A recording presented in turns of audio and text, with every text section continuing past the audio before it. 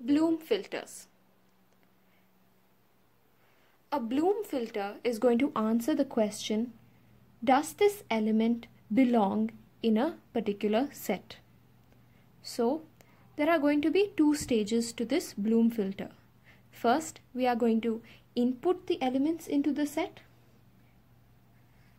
and for each element input we are going to update this filter and then we come to the second stage which is the querying stage where we are going to ask this Bloom filter, does this particular element belong to the set? So let me explain with an example. So in the beginning, the size of the Bloom filter is given. So that is going to be stored in M. Let us say M is equal to 5 for this example. Now, we are going to define two hash functions. Let's say hash 1 of x is equal to x mod 5. Let's say h2 of x is equal to 2x plus 3 mod 5.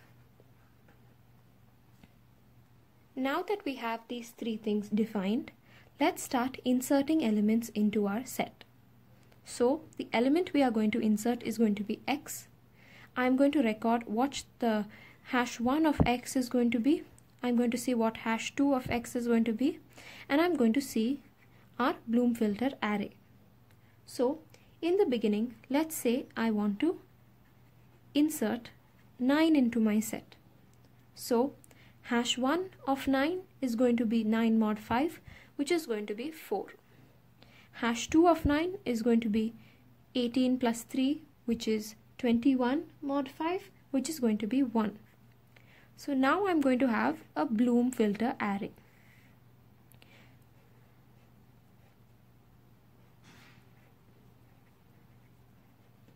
So this is my array of 5 elements. We have already said the bloom filter is going to be of size 5.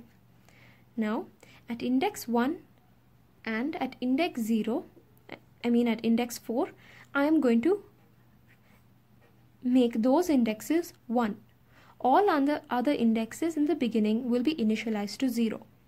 Now I have the results 4 and 1. At those indexes I am going to place a 1. Now let me insert my second element. Let's say I want to insert 11. 11 mod 5 is equal to 1. 11 into 2 is 22 plus 325 mod 5 is equal to 0. So now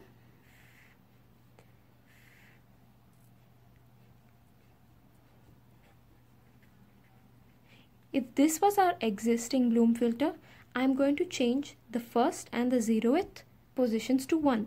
The first has already been changed to 1, so we leave it like it is. So 0 will get a 1, 1 will get a 1 and copy everything as it was. So this is going to be our state of the bloom filter. So what is the state of the Bloom filter after adding these two elements? The state of the Bloom filter is 1, 1, 0, 0, 1.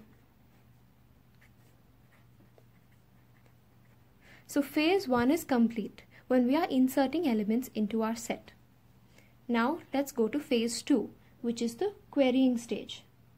So let's say I say query 15. So I want to check whether 15 is part of the set. That is 15 is one of the elements whether it is one of the elements I have inserted. So I'm going to calculate h1 of 15.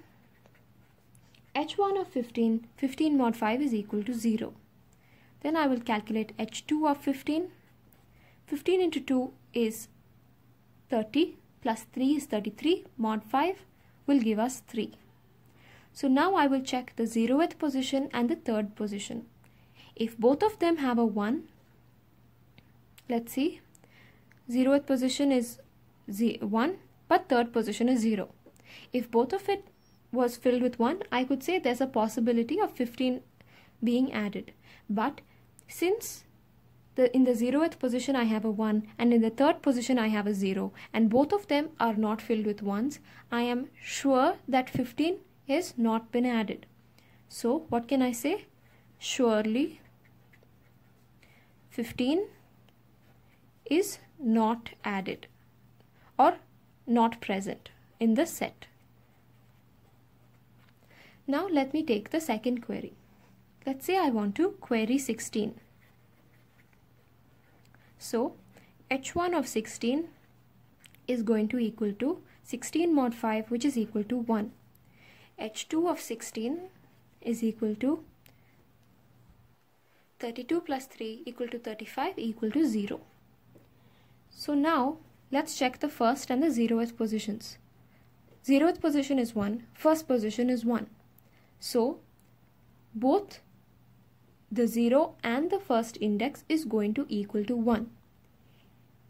In such a case, I would think that 16 could have been added to the set. But in reality, has 16 been added to the set? No. So whenever I get a positive answer from a Bloom filter, then I don't know whether that answer is in, act in actuality correct or it's going to give me a false positive answer like this. So this kind of answer is positive definitely because it's going to give me a positive answer because both the zeroth and the first positions are filled with 1 but this is not the correct answer. 16 is not part of the set. So this is called a false positive. So whenever I get a positive answer when I query with a Bloom filter I say that 16 was probably present. I cannot say this assuredly. So I cannot confirm that if I get a positive answer, yes, it's going to be present. No, that positive answer could be a false positive. So I don't know whether 16 was really present or not. All I can say was is that 16 is probably present. So in a Bloom filter, you get two answers. You can get a negative answer, which is going to be the correct negative answer. The negative answer is always going to be right. It's always going to give the correct information. But the positive answer can be a false positive. So this Bloom filter is mainly used to see whether something exists in a set or not. And we are mainly interested in knowing whether it is not present in the set. So when we know that the answer from the Bloom filter is that that number is not present, we can say with full assurance that yes, it must not be present. But if our Bloom filter returns that this element could be present, we know that that answer is not to be trusted because it could end up in a false positive. So this is how a Bloom filter works.